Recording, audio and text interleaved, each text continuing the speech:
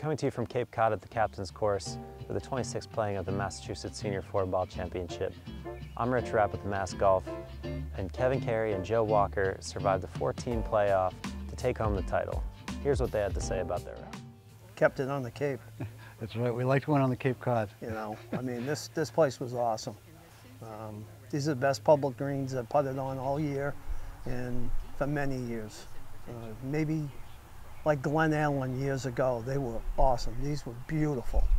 Guys were really happy about the surfaces we played and the conditions that we played.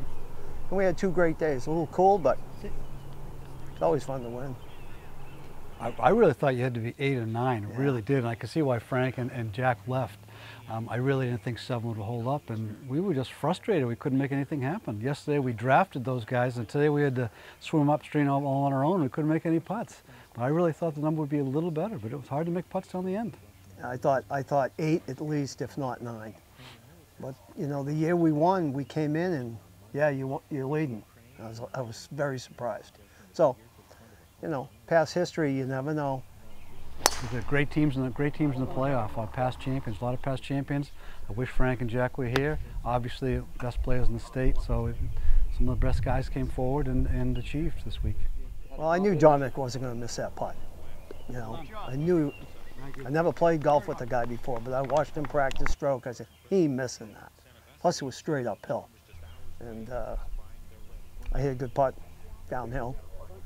It's going to get to the hole. I just had to get it on one. I'm just a garbage. I just clean up the garbage, you know. if par's a good number, I don't mind being in there. But um, but that birdie Kevin made on the first uh, playoff hole was huge, and he's very good at downhill putts. And I had every confidence in him, and he buried it. Every year there's a new crop of 55-year-olds Yeah. coming up, and uh, we're 10 years past that. He's 12 years past that. But uh, you know, you keep battling, and we're surprised we're still still managed to come out on top. It's am- amazing to us. And that'll do it for the 26th playing of the Massachusetts Senior Four Ball Championship.